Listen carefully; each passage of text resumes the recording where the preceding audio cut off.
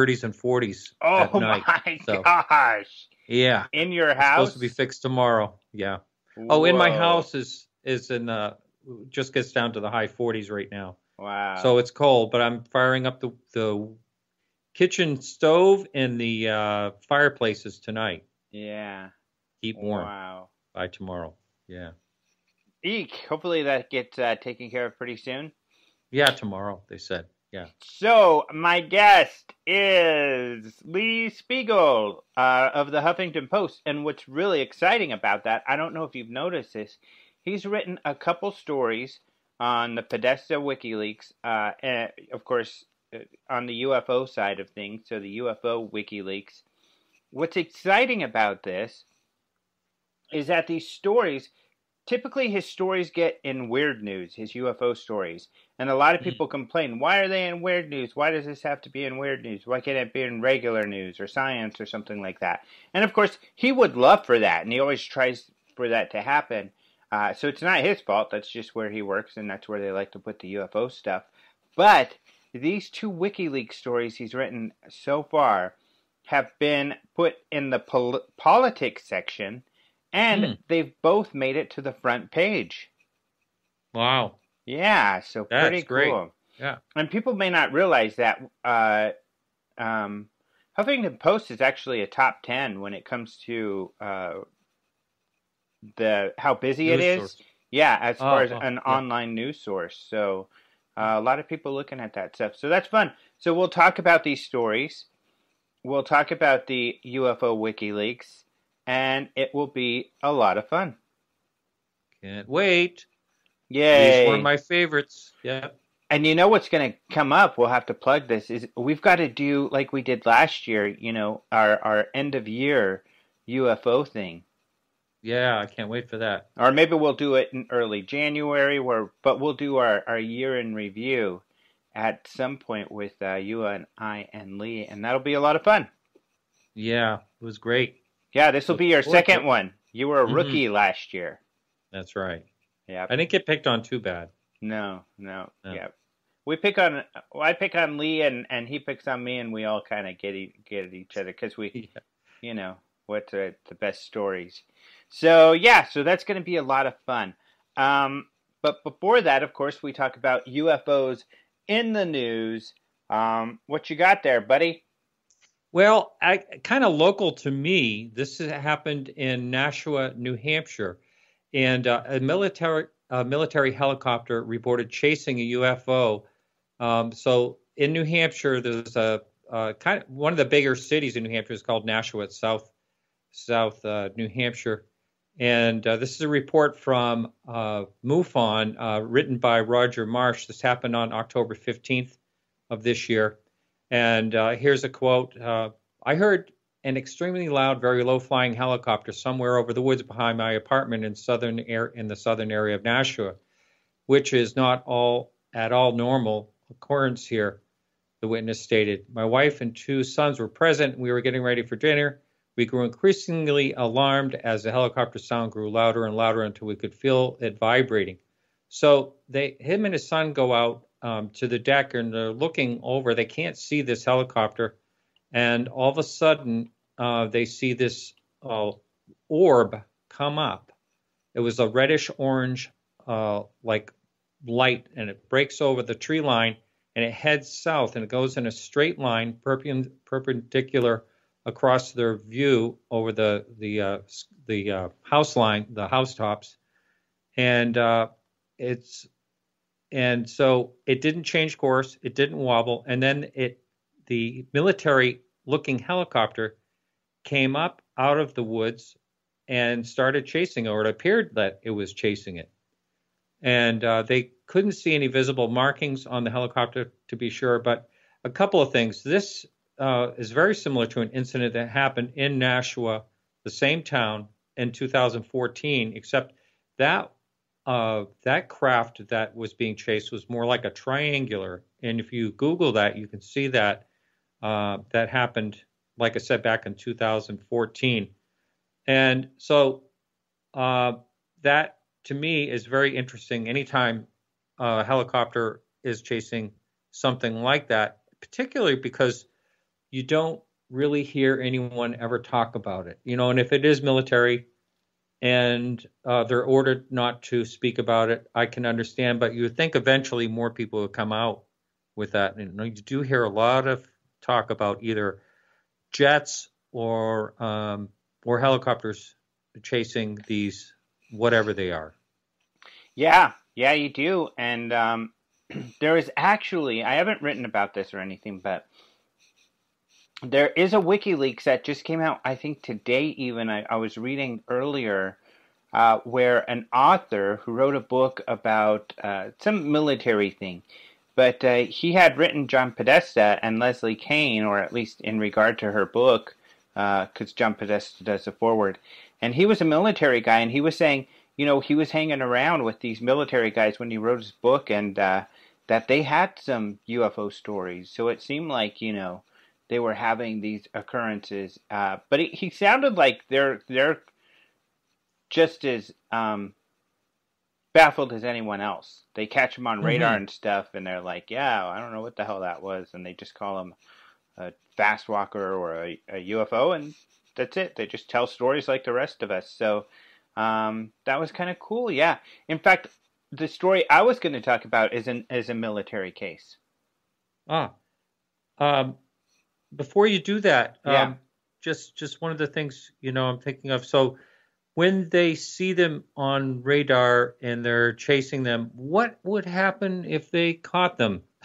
I know they do? That's a great question. I mean, we have a lot of stories about the jets chasing and not catching them. So, for instance, yeah. in Blue Book, there's there's many of these cases. Of course, the 1952 Washington D.C. incident uh, may be the most famous, where the pilots even said we tried to vector in on them, but they disappeared every time we got close. So you never hear about uh, them catching up.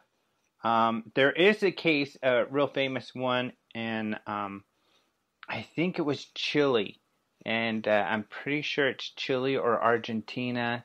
It's a South American country, and I can't remember right now. I'm blanking on exactly where. It's actually it was in my talk at MUFON Symposium, but because uh, it influenced them starting up a, a. But this jet chased one of the objects, and he was like, "I was hitting that thing. That thing, my bullets were going into the object that would have shredded a truck, but it seemed to have no effect on this object. Uh, mm. Like they were bouncing off or they were going through. But that's the closest I've I've I can recall or have heard. So maybe when or if they've ever caught up with them. Maybe they never have, but if they have, maybe those uh, cases are just uh, a little more um, sensitive, and so we don't hear about them.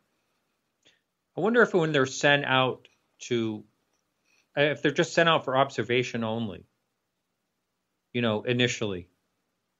Who knows? I mean, you know, people make an argument that the first thing that we would, will probably do is send out probes, just like we're doing to Mars. We've got all kinds of probes mm-hmm. and robots on Mars. That that's what we would do. Even if we had a technology to send something really far, uh, it would most likely be a probe, uh, a satellite, right. to check something out. Um, so that's a that's a possibility. It would make sense. Uh, actually, what I meant by that was I'm wondering if the military sends these oh. jets out, oh. you know, for observation. But yeah. no, I, I understand what you're saying too, and I, I do agree with that. Yeah. Um, you know, if we are being visited, you know, most likely uh, we would be first visited by some type of probe or um, drone or of something. Yeah. You know, not necessarily occupied. Yep.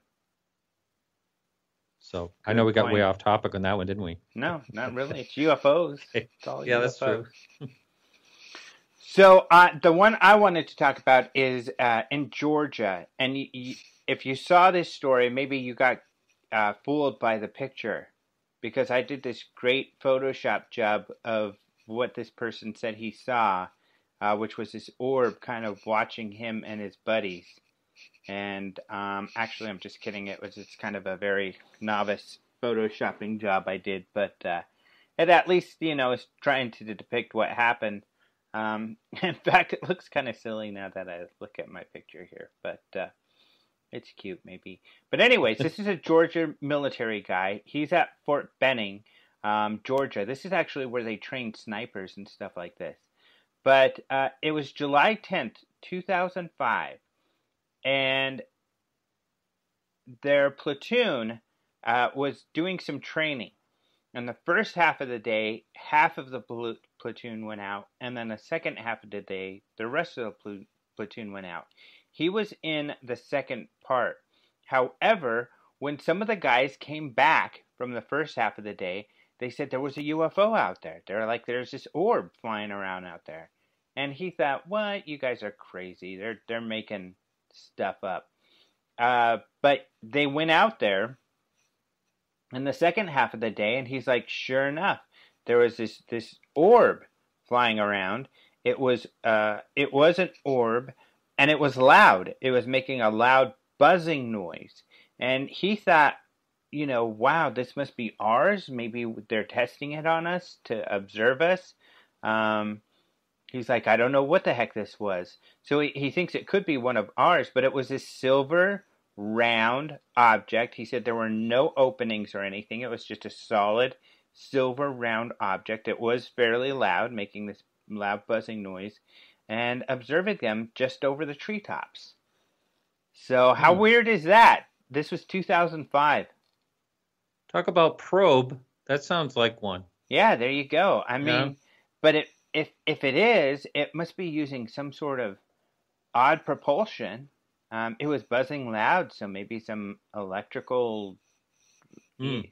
type propulsion, or or of course, assuming this this is a true story, but uh, that's pretty damn weird, isn't it? And I mean, if there is, it is a round probe, uh, and and if it is ours, you know, um, this could explain maybe the Homeland Security video over Puerto Rico, mm. or even the more recent one, the uh, police in, in in the UK, who also captured something similar on their FLIR, uh, something that is difficult, oh, yeah. mm-hmm. if not impossible to see by the eye, but they could see it on the the FLIR. Um, pretty weird one. It's pretty interesting yeah, read. Another thing that comes to question on a sighting like this is, and it's a, another big question mark is, you know, it's like Rendlesham Forest. It happens, you know, three days in a row or five days in a row or something like that. That that's just bizarre in itself. Mm-hmm. Uh, wh- why whatever it is would stay in one area? I mean, if it can travel from wherever it is to get here, why is it stick in one little area? You know, I yeah. mean, that's that is, a, is another uh, another question. Yep. What the hell's going on, man? Right. Weird mm. stuff. Weird stuff. the last thing I wanted to mention, I don't know if I mentioned this last week or or or on your show, but uh, did I talk about Denver International Airport? Probably not. No. This is just kind of cool, and I wrote a story on it. But um, the Denver International Airport, uh, of course, there's a lot of conspiracy theories around it. I used to live in Denver, especially during the time of all these conspiracy pictures. I've got pictures of all the things that people say are strange and blah, blah, blah. But, um, uh, you know, having been in the area and watched it, they've all pretty much been debunked. So, but hmm. what's interesting about this is that uh, the the airport itself has adopted these conspiracy theories and they've kind of embraced them and have used them for marketing. so, which is kind of funny. So, a few years ago, they were uh, in 2013. They were opening or they're building this huge new area.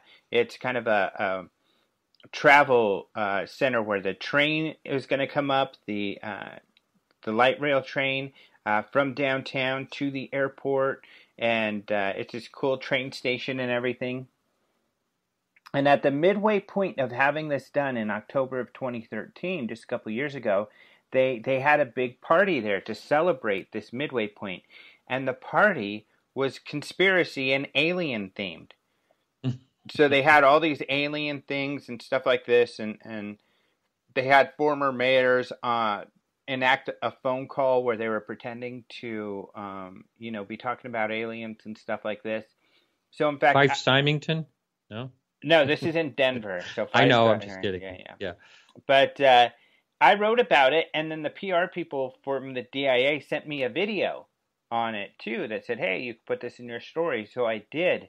Well, just this, I don't know when, but my cousin Jason actually sent this to me. That's how I found out.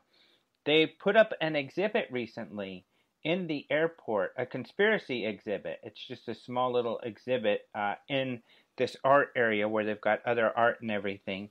And they have a plaque there, or at least a stand there, with some of the stories about the conspiracies. And they have open minds, like prominent on this thing. In fact, it's pretty much about our story. Oh, um, wow, that's great. Yeah, pretty cool. And then they also included the UFO Chronicles. Uh, they wrote about it too. They probably just reposted our story, uh, which you know is great. They've linked back to us, and we love UFO Chronicles. Uh, but uh, yeah, so that's pretty funny. So you can see it there, and it's kind of fun because they also have this alien skull. Because they back during when they did this, they pretended to like uncover this alien skull and stuff like that as part of their marketing. So it's uh, it's pretty fun. Awesome. Yeah. extra publicity there. Yeah, pretty cool of them. They know you're a you're a, a, local. Yep, I I am a Denver native. In fact, I've got my Denver Broncos T-shirt on right now. Orange, I'm sure. It blue and orange. It's old school. It's uh, pretty cool. All right. Well, is there anything else you wanted to mention, my friend? No, I'm about done. I got to get back to my freezing cold uh, living room.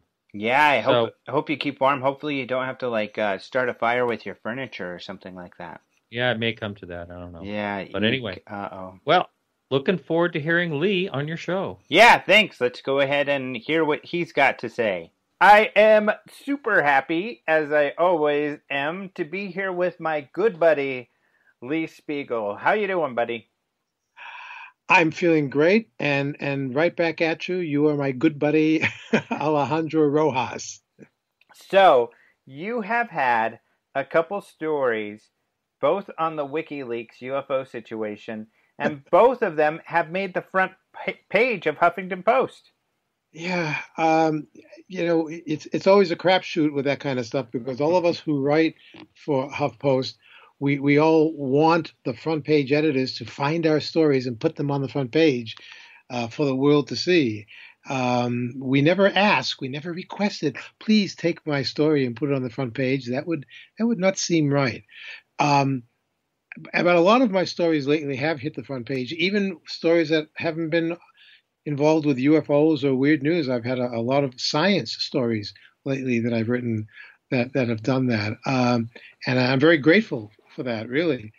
And the, the, the two WikiLeaks related stories um, involve some of these hacked emails.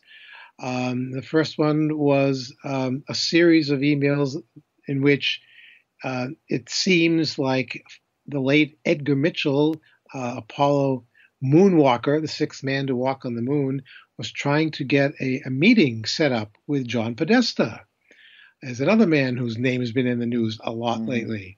Uh, Podesta being the uh, Hillary Clinton uh, chairman of her campaign, and who has his own UFO background of trying to get the government to unlock UFO files that have been locked for, for decades.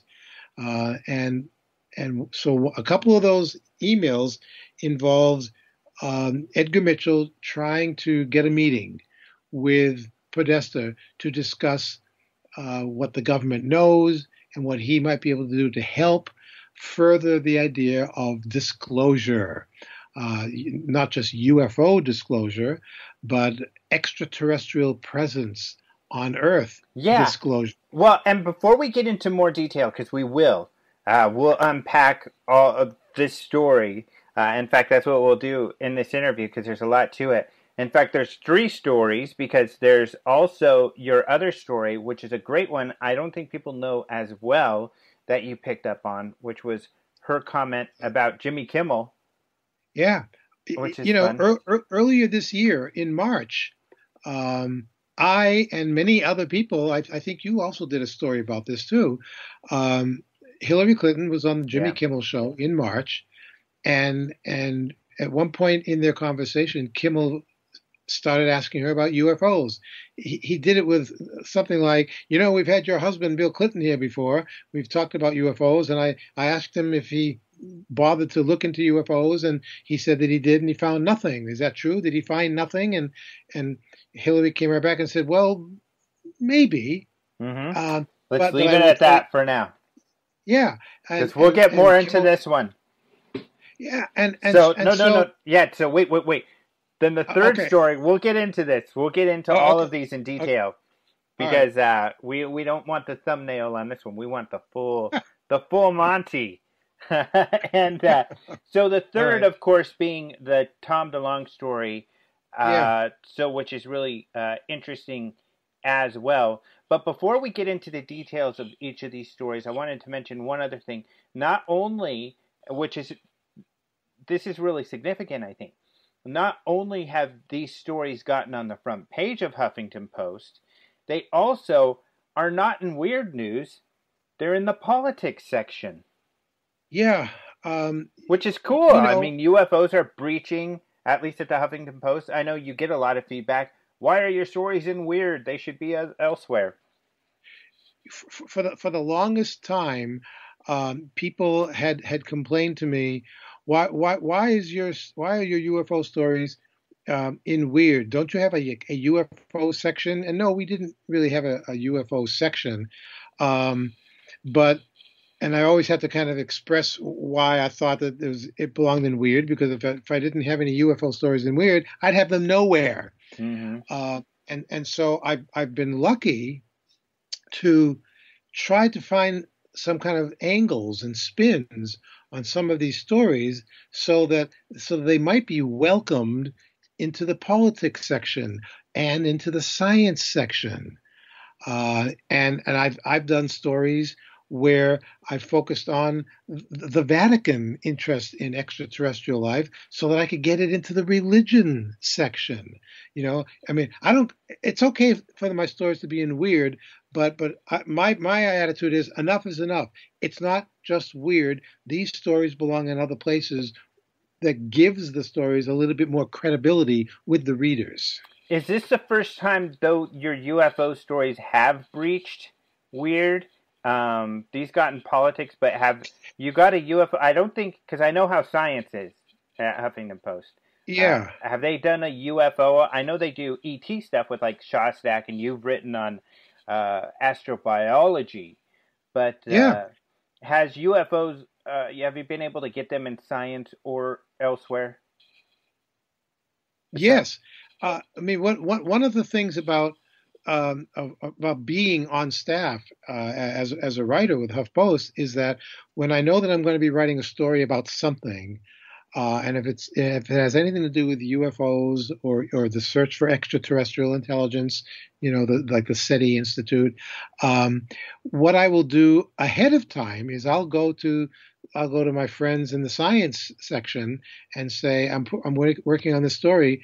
Uh, would you like me to cross it over to your section as well? Mm-hmm. Uh, and they'll and I'll explain to them why I think it would work well for them, and they'll generally say yes, which means what they're saying to me is when your story is published, we'll put it up on our page. Cool. Uh, you know, and and so I've I've tried to stay on top of that. I've I've tried to to be aware that my stories can find a home on places other than weird because you know if if I if I have a story lots of my stories lately have been on weird and science and politics well if I want to send that story to someone out there in, in the world and say look at look at my recent story about so and so in the politics section.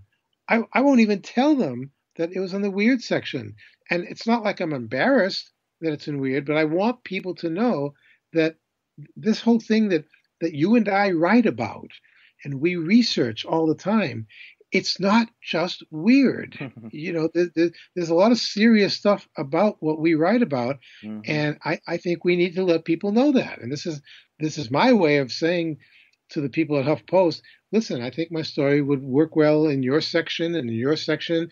Uh, let me just give it to your section and hope that you'll put it up And and I'll tell you, what I do with every single story that I write, uh, if I think that it might be on one of three sections, as soon as my stories are published and it's up there on at least on the weird news page, I will go to the other sections just to see if they grabbed it because mm-hmm. I want to know if yeah. it's if it's somewhere else. Mm-hmm.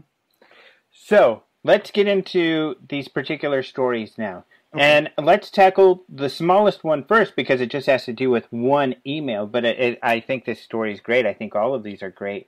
But this being the Jimmy Kimmel one. So you were explaining yeah. how uh, Hillary it was on Jimmy Kimmel in March, and in March. Um, but that this email actually had to do with an appearance she had last year. Um, but which it, I didn't know about. Yeah, which but it gave us insight into that appearance yes. last time. Very interesting insight. So go ahead, go ahead and explain this. Sorry. The, the it's a, it helps to to talk first about the march. Okay. She was very anxious to answer any of Jimmy Kimmel's questions about UFOs. She was mm-hmm. almost too anxious to talk about yeah, unidentified. Surprisingly. Yeah, and she said that you know my husband couldn't come up with the information, but I will. When I'm elected president, uh, I'm going to do whatever I can to to, to make sure that that the classified files on UFOs will be will be released to the public, unless, of course, here's that caveat, unless they have something to do with national security. Well, you, you know, I'm I'm sitting there watching the show and I'm thinking, I'm yelling at the TV screen, Hillary, every credible UFO story has something to do with national security. Yeah. you know, right. no matter how you spin it. Um, but in this exchange with Kimmel, she said, You know, Jimmy, um, there's a new name, and it's called, uh, the way she said it was unexplained aerial phenomenon. and I'm thinking, I'm thinking, no, that's that's not right, Hillary. And then she said, and, and it's it's UAP, and that's she says that's the new nomenclature. Mm-hmm. And Jimmy said, I'm not sure I like that. I, would rather just keep calling them UFOs. And Hillary said, well, we can we can inter- interchange them, you know, back and forth.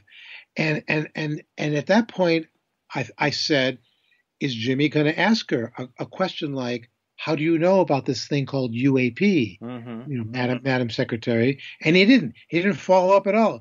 I was sitting in my living room. I'm asking her the questions. you know, Hillary, tell us how you know this. How do you know this? Why, why did you mangle what UAP stands for?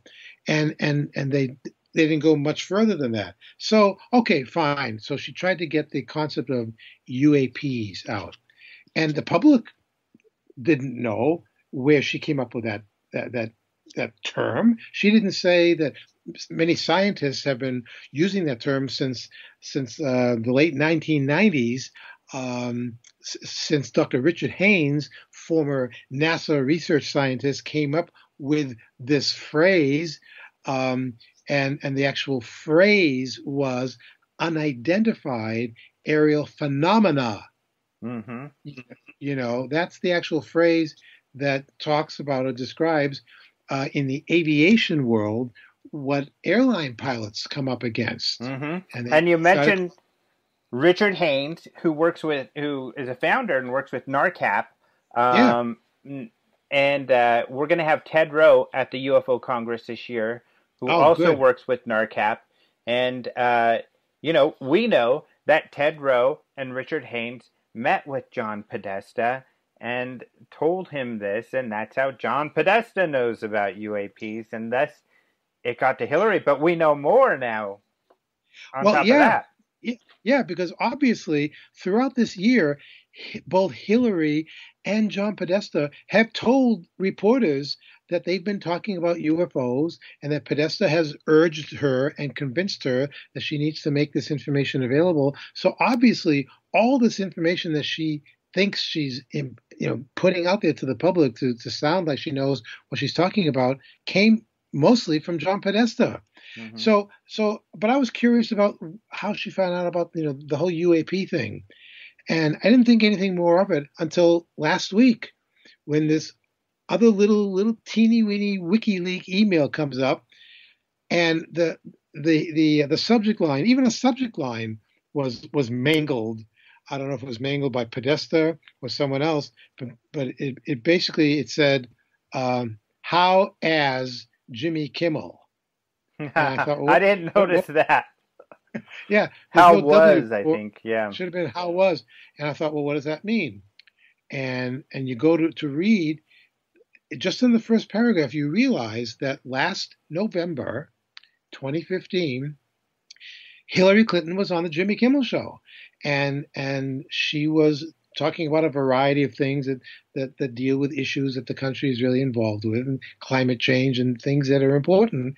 And and the interview lasted just a couple of minutes, and and, and apparently that that was it. I mean, that was. I actually went back into uh, YouTube and I watched the interview uh, from last November, and there was nothing mentioned about UFOs.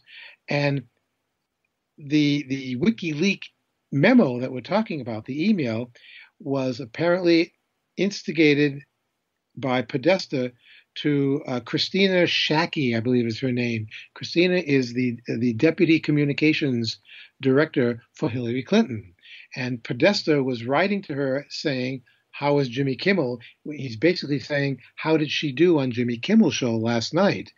Um, because apparently he must have had some discussion either with with with the Kimmel people or with Hillary that they were going to talk UFOs, and the response maybe, although we don't know for sure.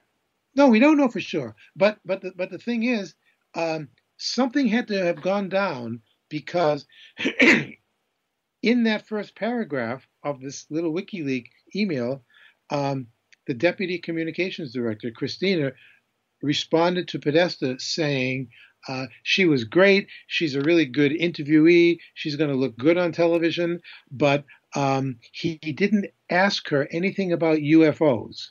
And she was very disappointed because she spent five minutes ahead of time practicing UAPs. And I went, whoa, this is cool. this is good stuff. Yeah. I'm writing about this.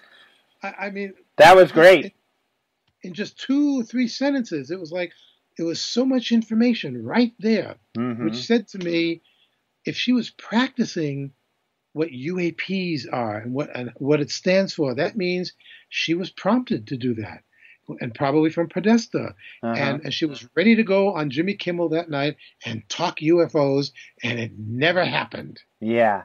Now I don't know that it was scheduled to happen. Some people have assumed that, and you know, um, because uh, they may have anticipated it for the same reason we have been excited. We were excited for him to interview Hillary uh, because we anticipated him to ask about UFOs because he had asked Bill about UFOs and he had asked um, Obama about UFOs.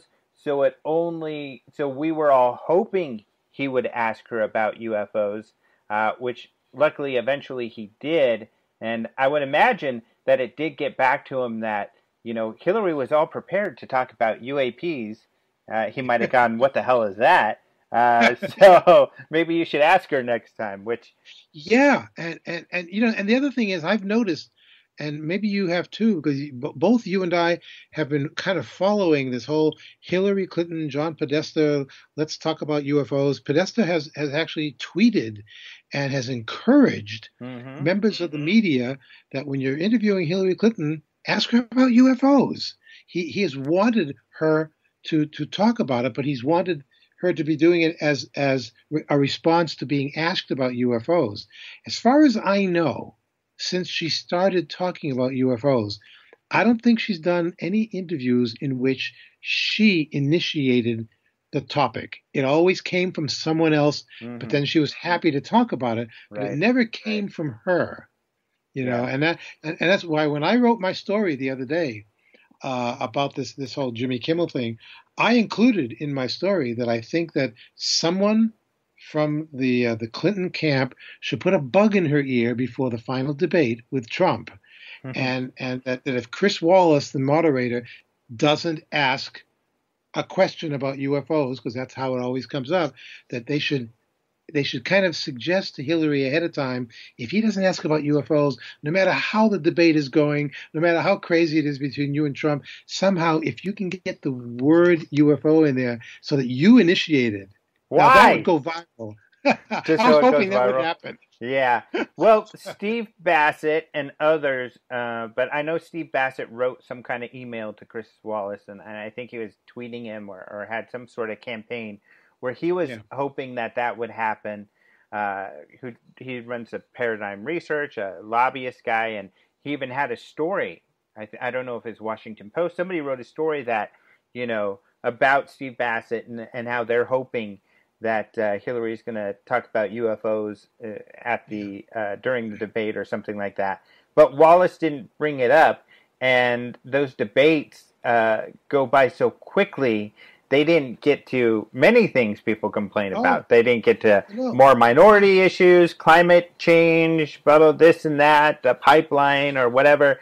All issues which the public and uh, maybe you, uh, maybe I feel are a little more pressing than you Yeah. UFOs right now. and and that and that that's okay but but i i i, I tried to impress uh, on people that so far in these debates every time the moderators whoever they happen to be would ask a, an important question of donald trump he would always go off topic so it didn't matter you know he, Yeah, he true. was, he was he wasn't sticking to the questions that were being Mhm. asked and so i was trying to get people into the head of if you can just get Hillary to say something about UFOs, and then the moderator would feel compelled to turn to Donald Trump and say, Mr. Trump, you have two minutes to respond.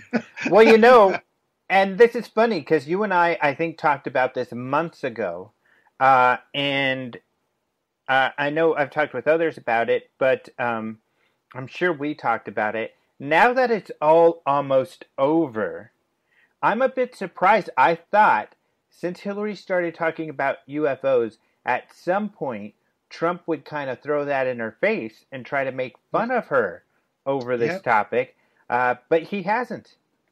I know, I know, and and you know the the, the precedent for that was, uh, I guess it was in the 2007 uh, debates, Mhm. um, and it was Tim Russert, Mhm. uh, the late Tim Russert from NBC's Meet the Press, uh, who asked um, Representative Dennis Kucinich, of, of, was he from Ohio, I believe, and and the question came up during one of the debates of um, of we understand that you uh, have have claimed to have seen a UFO at some point in your life. Would you care to explain that? And Kucinich did explain it, but he never once said that it was spaceships. Never once said it was like little green men. He said, I once saw something that I couldn't explain. I thought it was pretty amazing. It hasn't been explained to me, and that was that. Mhm. But everybody else blew it up, and well, he's he, he, didn't become president partially Right. because you know he quit because- soon after. yeah, um, and it, it it goes back to that. It speaks to that ridicule factor Mhm. that still is, is exists in our culture. Mhm. Uh, that anybody in any kind of a prominent position that might, you know, feel uh, that it's okay for them to talk about any UFO encounter that they might have had or any kind of paranormal experience. Um, if if they decide to do it, they, they run the risk of, of ridicule from everybody all over the place. Mhm.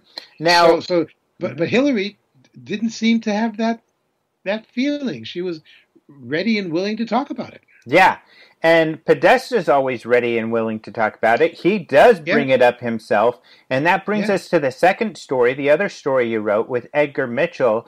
And what I found kind of uh, surprising is that Edgar Mitchell was into um, our mutual friend John Alexander doesn't like me to use this word, but I think it's accurate, which is fringe. Some of the fringe areas, because they are on the, Yeah. the fringe areas of the belief. Some of the more uh, kind of uh, what might be seen as wild ideas, or certainly less more harder to digest for the mainstream.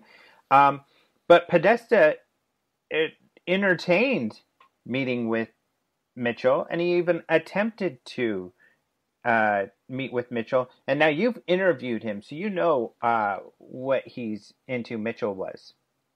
He was very from the time he came back to Earth after his Apollo mission. it was a very spiritual and uplifting uh, experience for him, and and he went on to to to establish the uh, the Institute of noetic sciences. And he started he started studying with a lot of interesting people the idea that human consciousness is is far more complex and interesting and different than we've ever been taught to believe.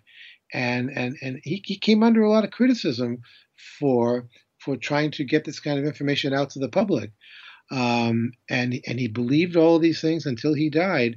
And and he was he was very very interested in in talking to Podesta because he believed through his contacts with other people that extraterrestrials are here. They've been here for a long time. They're not just here to visit us. It's not like a like they're out on a cruise and oh, let's go check out the third planet from the sun. Uh, that he he, he believed that uh, that there were some violent and some non-violent ETs that were here, uh, and that they wanted to help mankind. But we've heard stories like that a lot mm-hmm. over the years from people with far fewer credentials than a guy like Edgar Mitchell. Mm-hmm. That's why I kept kept coming back to doing stories about him because he wasn't off his rocker. He was he was really very highly regarded uh, as a scientist and and and as a as a, a, military pilot and he walked on the moon and when he he just you know this was the guy he had he was one of those he wasn't he wasn't one of the original astronauts who had the right stuff but damn he had the right stuff on so on so many other levels that that a lot of the earlier astronauts never even dreamed of talking about mm-hmm. he was he was trying to help humans unlock the mysteries of the human mind. What could be wrong with that? Mm-hmm. You know? Yeah, and I, so you can't blame Podesta for wanting to meet him just by because of who he is and wanting yeah. to meet with him. Um, I don't know if you saw this email. I'm sure you probably did. It came out uh, later, I think, after your story, where uh, Edgar Mitchell had, uh, and of course, none of these emails actually were written by Mitchell, but they were written by right. colleagues um, right. One, some of them written by Rebecca Hardcastle, who you mm-hmm. talked about, and she's in there. But uh, she has written a blog about this. But um, where they said we would also like to meet with the president, and there was a right. response, and the response said, uh, "Well, why don't we meet with Podesta first before we take yeah. this to the president?" I read it more along. Well, hold on there. We'll talk to Podesta first, and then go from there. But of course, yeah. some of the people have read it that Podesta was get, definitely going to take this to the president uh, because the president is in charge of all the UFO stuff. I don't know that I go that far. We don't know that he meant that at all. But um, I uh, look, I I've, I have felt for years that because of Podesta's position, first uh, in the White House when he was Bill Clinton's chief of staff, and and then for a year he was Barack Obama's special consultant or advisor, um, and then and then when that ended, uh, and he, he, immediately became Hillary Clinton's campaign chairman, he had the ear of all of these people. You know, if he wanted to knock on the room on the door of the Oval Office and go in and talk to Clinton or go in and talk to Obama and say, look, let, us have a chat about UFOs, they would not have thrown him out of the office, I'm sure. Mm-hmm. Right. And I'll I'll I'll bet that that they had some really interesting, provocative conversations, um, be, because otherwise, why why would Podesta continue to to to take this stand of of the, trying to get the information out from the government. The government, you know, uh, doesn't have the right, and and uh, and the American people can handle the truth, and blah blah blah. I'm I have to know that, or I have to feel that he said these things to these presidents mm-hmm. because he he was a trusted member of the White House staff in a high position. Of course, he must have had conversations with them. It uh, sounds like you are dying to interview Podesta and ask him these questions. I, I, you know, I have, I have sent him a few emails. Um, haven't heard back from him. He, he's a very busy man, and you know what? I, I like to say to myself to make me feel better. Hey, I'm a busy guy too. well, the reason I, yeah, he should want to talk to you. But the reason I say that is because, of course, I'm dying to interview him, but I'm sure yeah. we're both very jealous that someone did get to interview him. And we know this through the WikiLeaks, or we actually knew this before the WikiLeaks, but we yeah. know more about it. But Tom DeLonge, Mr. Blink 182 rock star, got to interview him. This interview's recorded. Hopefully it'll come out, but I, you know, I'm. This will be his first interview, really. Where I mean, KLAS actually it was a, an affiliate of theirs uh, interviewed asked Podesta a couple UFO questions, but it was very short.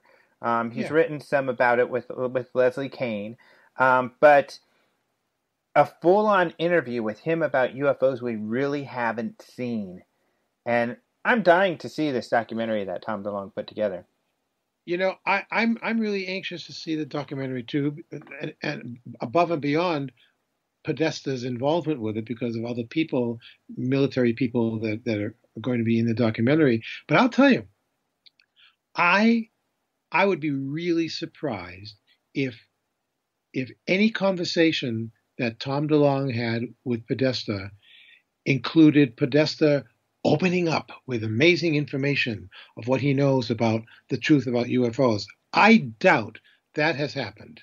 I think you're right. He's very tight-lipped.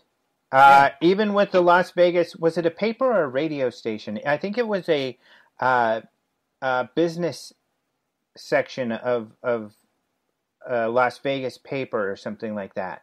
Uh, that asked the questions. But although this guy's a friend of George Knapp, do you remember this about well, six I remember nine the, months ago the, or something. The, I remember the KLAS interview yeah. where it was it wasn't George doing the interview, but it was it was the KLAS political mm. reporter, mm. the political head, mm-hmm. and they were just, he was just sitting opposite opposite Podesta, and there was nothing that Podesta said right. that he had said generically in any other UFO related interview before. He's right. been very careful about what he says mm-hmm. from from the days when he stood at the podium at the at the National Press Club in Washington and said it's time for the government to release the information. He hasn't he hasn't given any other information about what UFOs are all about. So he either he either doesn't know or he's unwilling to talk about it or or I don't know what other options are, but he hasn't said to anybody, here's what I think is going on, here's what I know is going on with UFOs and, and alien visits to planet Earth. I'm mm-hmm. going to tell you right now, you can believe me because it's coming from me. There's been nothing like that from anybody. Mm-hmm. And, you know? But, and that's what I love about these Tom DeLonge WikiLeaks, is that we now have an, at least an insight into what lengths he would go to. Uh, and him having access to everyone and anyone. Um, if I were to sit down and say, okay, and, and they told me you can interview anybody you want about UFOs, who would you like to talk to if you could have a meeting about UFOs? I would want to talk to a guy in charge of Area 51. I would want to talk to a guy uh, who is in charge or, or, was one of the leaders at Wright Patterson, which is where uh, supposedly the Roswell craft and the aliens went, supposedly. Yeah. Uh, and right. we do know this, they investigated UFOs. And I would want to talk to someone uh, who is a leader at Air Force Space Command. And Tom DeLonge mm-hmm. and Podesta had a meeting with three of those types of people. How amazing is that? Well, it, it's only amazing if they gave him useful, amazing information about what we're talking about here. That's because, true. You know, if they if they didn't say to him, "Okay, we're going to give you some answers," and you may have to darken our faces because we don't want people to know who we are.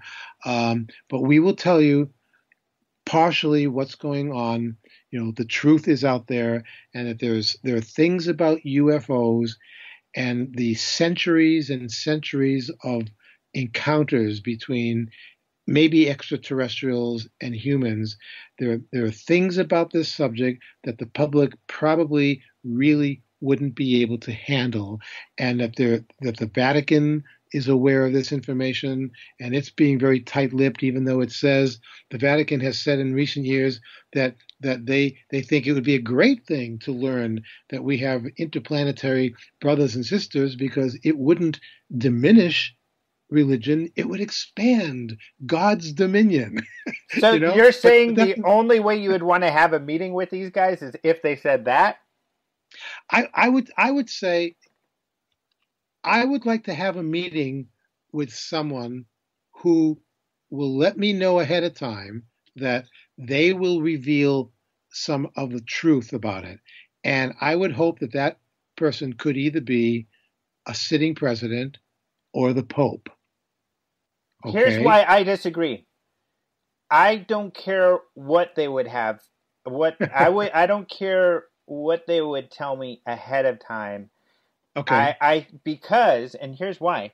Because for instance, I've learned so much from talking to any military person or NORAD person yeah. or NASA yeah. person I've talked to, even the astronauts who are skeptic. So, for instance, yeah. um, he's got an astronaut, I forget his name right now. He was at a MUFON symposium, but Tom DeLonge's got uh, an image of him, or at least some, him talking in uh, the trailer for his documentary. Although we know this guy is a skeptic because we got to interview him at the. Is that sto- uh, sto- Story Musgrave? There you go, Story Musgrave. He disagrees with with Edgar Mitchell and yeah. uh, other uh, astronauts who believe they've seen UFOs, but still, how interviewing John um, Alexander or Charles Halt or Nick Pope, people who, mm-hmm. who are insiders there's so much to learn from the inner workings, I feel, of all of this. And we do know, you know, that the Air Force investigated. Uh, yeah. So what happened with that? What do you guys do with that?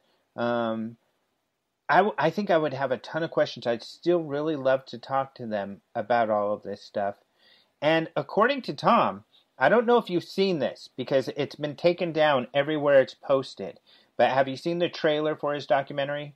Yes, and I thought I thought it was really interesting. It was, and he yeah. does say that he's learned, and I don't know who he allegedly learned this from, that it is a bigger secret than than the public can handle, essentially. Yeah, that's why he has a. There's a guy in near the end of the trailer who's in dark is in darkness, and and he basically says uh, that it the, the, truth about what's going on here you couldn't handle. It's like it's like uh, Jack Nicholson from yeah. A Few Good Men who can't handle the truth. Uh-huh. You know, and and and you know what? I actually don't disagree with that. I my my whole attitude about UFOs has sort of evolved since I first started getting into it in 1975. Mm-hmm. Um, and and I was like a true believer back then. It's wow, we're being visited and blah blah blah. They're coming from other planets, and and and my whole attitude has has sort of changed because of the people that I've talked to and interviewed, like you. You, I'm sure your attitude has changed because you've mm-hmm. had the, the good fortune, like I have, of interviewing some amazing people, and and getting their thoughts and their perspectives on things. And and I'm I'm, I'm at the point now where I actually think that there's so much more to this whole UFO thing. John Alexander, perfect example. He's always saying to people, and he's considered a UFO skeptic, and a lot of the UFO community doesn't like his attitude. But he'll he'll come right out and say to you, "We're not asking the right questions." There's so much more to this UFO thing. Jacques Vallée will say the same thing. This is so much more complex than just interplanetary spaceships coming from somewhere. And I, I believe that now. I think that this is bigger than any of us really know. I don't know what it is, and I won't even speculate because I don't have the right to speculate because I don't know. I agree with you. I mean, I had Alexander, speaking of him, and that's why he's on the top of my mind. He was the last person I interviewed. And I interviewed him about Skinwalker, the Skinwalker yeah. Ranch. And that's a perfect example of how this whole thing is much more complex than just um, ET coming down here and, and flying around and checking us out or something like that. Right. It, it it's really, and if of course, uh, and that's what gets a little bit frustrating with SETI is that they take such a simplistic view of their investigation. Um, if this is intelligences beyond our own, um, it would be difficult for us to fathom um, their modalities or their motives. Yeah. Just yeah. like you know, uh, whatever pet you may have sitting next to you, the reasons why you do what you do is a complete mystery to your pet. They just yeah. uh, the only actions they're most interested in is when you want to give them a scratch or, or you're going to feed them. But otherwise, whatever the hell you're doing around the house, they don't know what the hell you're up to. I, I, I know, and that that makes me think of that that now famous chapter 33 from Introductory Space Science, uh, the Air Force Academy uh, mm-hmm. science book from the 1960s, uh, in in which and it was written by uh, military personnel, and and it was for the only for the eyes of Air Force cadets uh, in Colorado Springs, and this chapter, a very extensive chapter, set out to explain to the cadets the current thinking at that point in in the late 60s of what UFOs were, and they went through every possibility. It's a, you know misidentifications, astronomical things, hallucinations, blah blah blah, and they finally get down after they eliminated all the others. Then they finally come down with alien visitors, and they clearly tell the cadets we're left with the unpleasant possibility of alien visitors to our planet, probably three or four groups of visitors at different stages of development. Mm-hmm. This is what the Air Force was telling their cadets. And at one point, uh, they raised their own question why no contact? And they answer their own contact. They say that when you go to the when you go to a zoo, you don't go there to contact the lizards. Mm-hmm. you know, and and that any group of extraterrestrials, no matter how much more advanced they might be either technologically or intellectually, uh, they might look upon us as we look, would look upon insects. Mm-hmm. And, and so, again, and the only reason I even know about this chapter is because it was given to me in 1978 by the late Dr. J. Allen Hynek to use at the United Nations presentation that we put together. Mm-hmm.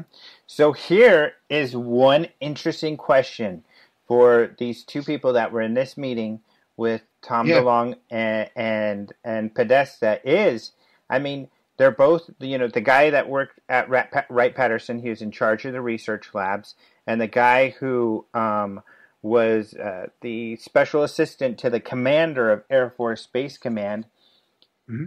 Did you, when you were in your physics class at the Air Force um, Academy, do you yeah. remember that chapter? And yeah. what do you remember of it? You know, and know. why was yeah. that chapter in there? I mean, those would be interesting questions to ask these guys. I think. Yeah, because because it was a real chapter, and and mm-hmm. you know another thing about that chapter, this this thing was was in the uh, the the, the uh, this physics book in like 1967 68 and within the context of this chapter the air force officers who wrote the chapter actually refer to research at the time of Jacques and Janine Vallée, mm-hmm. his first wife. And at the end of the chapter, they have references to go to for if the if the cadets wanted to further their readers readers um, their, their information about UFOs, and you you start reading down through the references, there are at least two or three references to Jacques Vallée books that were available at the time in 1967. It's like, mm-hmm. Uh, what what's going on here, folks? Why would they use Jacques Vallée's books as a reference to their cadets if, in fact, there's nothing to this UFO thing at all? Mm-hmm. Well, and it could be though. I mean, it's still possible, and you know, I always stick to this because we have to prove otherwise. It's still possible that that whoever put that chapter together, the couple of people who did, I think it was two people right. listed, two officers. Yeah. They were just yeah. good researchers. I mean, they were people who went to the references we would have went went to to write a similar chapter if we were tasked yeah. to do so. But it doesn't necessarily mean they have any more information or much more than the general public. Right. right. And, but but what I what I admire about that, and, and it's it's kind of what I admire about what you do, and I'll pat myself on the back about this too, is is, is people who bother to do research yeah. about something. You know, this is there are too many people out there that just throw their opinions around and speculate. Mm-hmm. Um, it, it, it's like our friend Stanton Friedman, the nuclear physicist. He always says that the the debunkers have the, this mantra. The mantra is.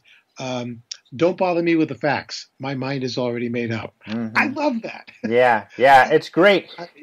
And I mean, people will call uh, you might get this. I certainly get this. We know our friends get this. Uh, be called a skeptic, but it's important yeah. that um, um, I want. I, I don't know if I w- would say I want to believe more. I think there's more mystery out there, but uh, unless I can prove it, you know, you, you can't go there, or at least uh, uh, to be disciplined and to really try to build on the mystery. You can't go there, so you have to stick with what you know yeah. Um, and you know that too, because in journalism, that's how you write. You have to justify the statements you make in your stories. We're, we're, we're living at a time. Sometimes I wish that I would. I really was born 300 years in the future, at a time when we, we are part of a federation of planets. yeah, that would be great. We're, we're traveling at warp speed, mm-hmm. but but we're at we're at a point now where scientists, astronomers, are actually starting to loosen up a little bit mm-hmm. because of all of the galaxies that we now know are yeah. out there. Our human minds, we can't fathom, we can't understand what this must be like. Uh, that t- tens of millions of galaxies, each galaxy having billions of stars, and and and there are astronomers out there that are saying now that they believe that that most of these stars have at least one planet orbiting mm-hmm. them. The, the numbers are staggering of what's out there. Um, when I when people say, "Well, there's no life out there," I just pull out a few pictures from the Hubble telescope and and I say, "You see this picture? Um, you you see all of those little dots in this picture? Yeah, those are stars. No, this this this is the this is the Hubble Deep Field um, image that only shows galaxies. Mm-hmm. You only, every little dot that you see means it's just further away. These are galaxies with billions of stars with billions of planets. This to me is evidence of life because it can't be anything else. Mm-hmm. Now, my last question, even though it'll probably spawn more conversation, but the last question is um, yes. Do you feel you've been able to learn uh, more than you knew, uh, given these WikiLeaks emails? I, I don't think that I've learned more than I knew, except in like little ways. Like I did not know that last November Hillary was on the Jimmy Kimmel show and she had been practicing mm-hmm. to talk about UFOs. I didn't know that. And yeah. that's why when I read the email, I, I jumped on it because I realized, oh, this is an interesting piece of information.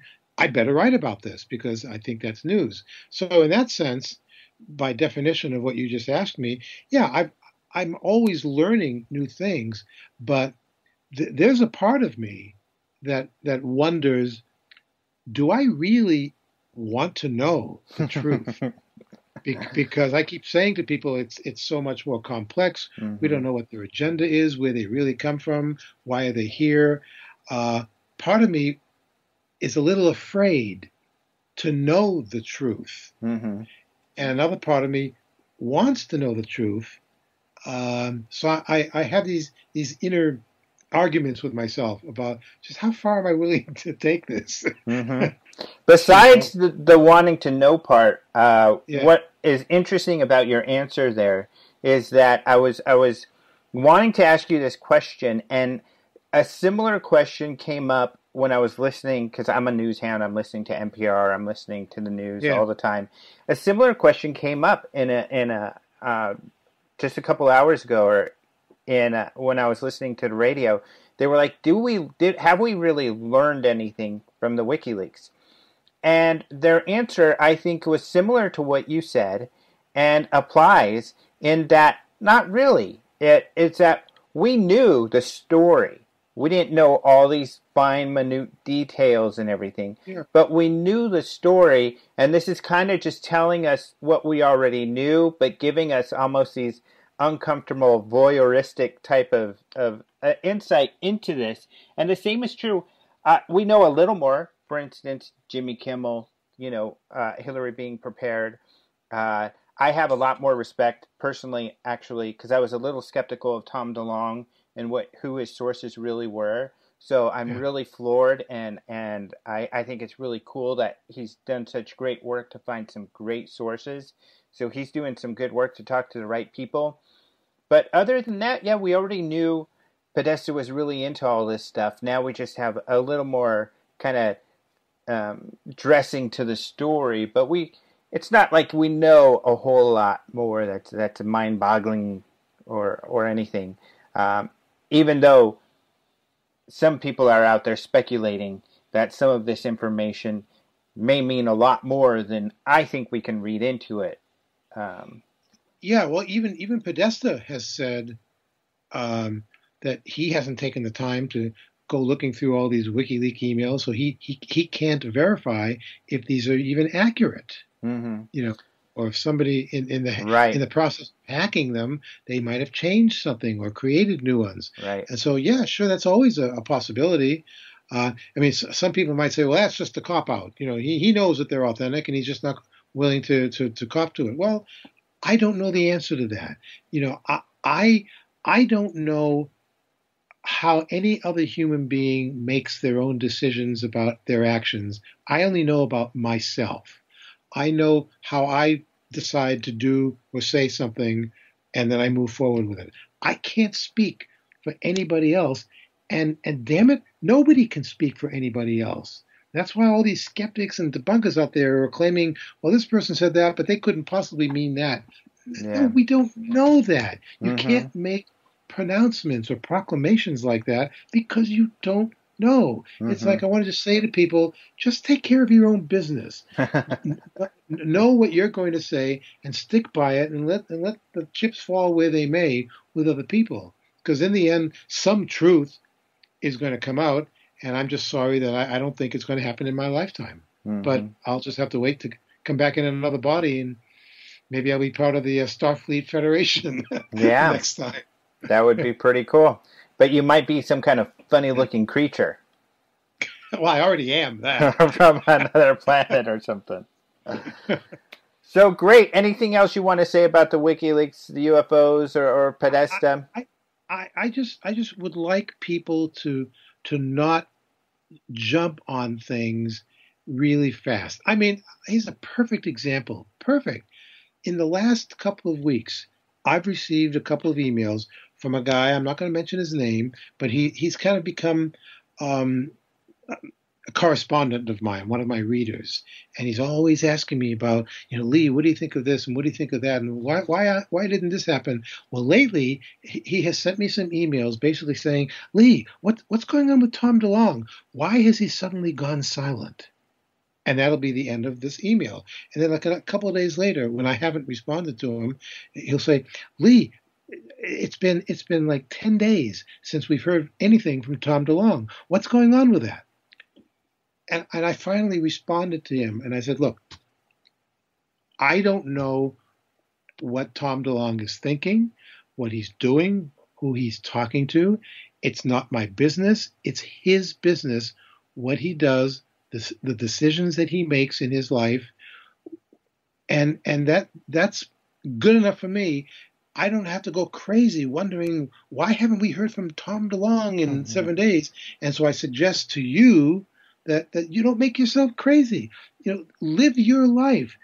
You know, be open to possibilities uh, and the wonder of, of new knowledge, but don't make yourself so crazy that it, it can give you ulcers. Because I think people are getting ulcers out of the anxiety of what's going on with UFOs. I mean, you and I, we haven't even touched upon, and we'll do this at some other point, on this whole other culture that's now called experiencers. Mm-hmm. You know, this is this is like a huge thing, like it never was ten years ago, of people who believe, strongly believe, they've had some kind of real contact with some entities from somewhere else.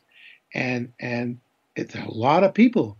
It has grown into this subculture of UFOs in this country, and it's it's international now too. It, it's amazing to watch it, and and I'm not saying that I doubt people, but I'm just saying, please, everybody, keep an open mind with with the things that you say, with the things that you think, and read as much as you can. Listen to credible people uh, on radio shows or in TV documentaries. Just just gather as much information as you can so that when you decide you want to talk about UFOs at a party or somewhere, that you do it with an informed opinion, so that you do it saying to people, "Well, I believe that this is true because here's what I read, or here's I interviewed this person who told me this," and and come at this everybody with with an informed opinion instead of just throwing this crap out there that, that, that indicates right away that you don't know what you're talking about. Have intelligent conversations with other people about this. Uh, you know, no matter what you believe, and I say this to everybody, everybody has an opinion about UFOs, whether they think it's crap or whether they think that invasion is imminent. Everybody has an opinion. And I think that's good. I think we uh-huh. should mm-hmm. we should build on that. Yeah. talk about with everybody. Um, even your a, yeah, even your favorite researchers have different opinions. Not every nobody has the same exact opinion, and yeah. there's nothing wrong with having different opinions. Yeah, and it doesn't mean that I'm right and you're wrong, or you're right and I'm wrong. There, there is no right or wrong. Um, there's just knowledge. If we can just find the right pathway to to the knowledge, no matter no matter how it will make us all feel as as inhabitants on planet Earth, you know, uh, I'm hoping that that the truth of UFOs won't be too much for us to handle. Mm-hmm. But I'm not convinced of that yet. So I, I kind of walk as carefully as I can because I don't want to stumble onto someone's spaceship and be probed mm. you know, against my consent. yeah, that would not be fun, and that would be. Uh, I don't need that sort of disclosure. Dip, dis, disprobler or something. This disprobler.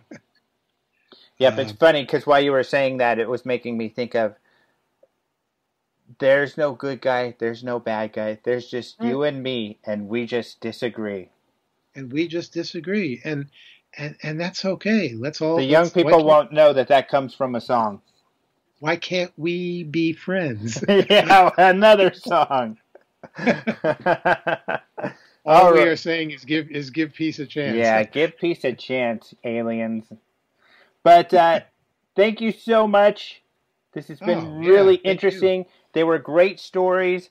Uh, it's I think it's so great that they got front page news and they were in the political section, um, which of course then uh, causes other media outlets to take a look at this stuff.